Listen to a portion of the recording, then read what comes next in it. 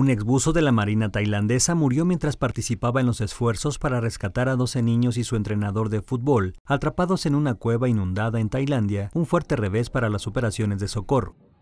El comandante de la unidad de buceadores de la Marina tailandesa, Apakaron Yongkokaev, anunció este viernes en una rueda de prensa la muerte de Samar Ponan, que quedó inconsciente mientras cubría el trayecto y al que no se pudo revivir.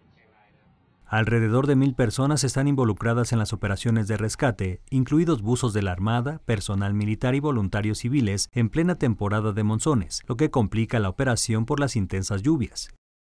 Buzos británicos localizaron el lunes a los 12 niños y adolescentes de entre 11 y 16 años y su entrenador de 25 que estaban desaparecidos desde el sábado 23 de junio en la cueva de Tam Lam Kun Nam, Nang Non, en la provincia de Chiang Rai, tras un entrenamiento de fútbol, el grupo se adentró en la cueva, la cuarta más grande del país, con más de 10 kilómetros, situada a mil kilómetros al norte de Bangkok, cerca de la frontera con Myanmar. Notimex.